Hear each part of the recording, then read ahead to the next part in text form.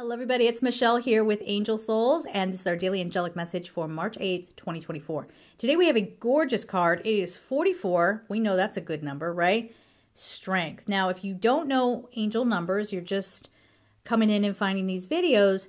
Uh, repeating fours is talking about more of your guardian angel team. So, a fifth dimensional frequency angel that is trying to guide you on your soul's contract.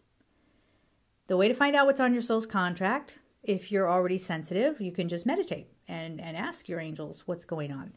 If you want help with that, that's kind of my whole career. Okay, so you can get a reading at angelsouls444.com. As of the recording of this, I am running well ahead of schedule. Like, you shouldn't have to wait too long at all. Like, I don't know. I don't know. I never know how many people are going to be coming in, but you should have it in a quick turnaround. That's not a guarantee. So please don't be harassing me, okay? Thinks. Where's my reading? Where's my reading? go go talk to the angels about that, okay? anyway, today's card is strength.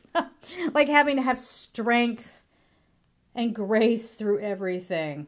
Wow, this is this imagery you can't beat it. So again, I don't know if you're gonna be able to see it, but it, there's sort of like almost like a winter scene around here, and this beautiful being looks like a girl, but a being, okay, coming out. She's sort of balancing the world, helping the world grow. And and she's to me kind of representing springtime, which is a fresh start. So you're going to have to take a lot of strength to face the things you got to face, to admit things to yourself that you need to admit.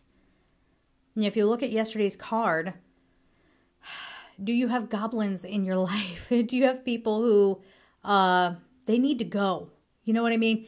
I've just gone through that. I've done some clearing and said, okay, we're not having those dark entities around anymore. Enough. And I've, I can't tell you how happy I've been. it's just been like, oh, wow, like, oh, that's an option. I can live a happy life and not be so beholden to dark energy. Yeah. And that's what this is talking about coming out of that winter phase, coming into spring. But you have, like it says here, you know, you got to have strength to admit certain things. Whether it is, okay, I do have a problem with X, Y, and Z. Okay, I comfort eat quite a bit, or I'm afraid of food, or, you know, I do smoke too much, God forbid. but, um, you know, or I do keep people around who are not good for me, whatever the case may be.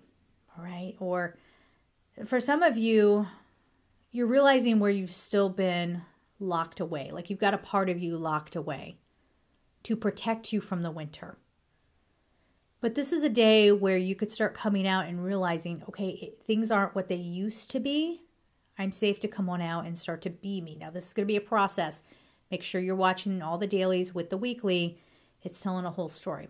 AngelSouls444.com if you would like a personal reading with me, and we will leave it there. I'm sending you all so much love and take care.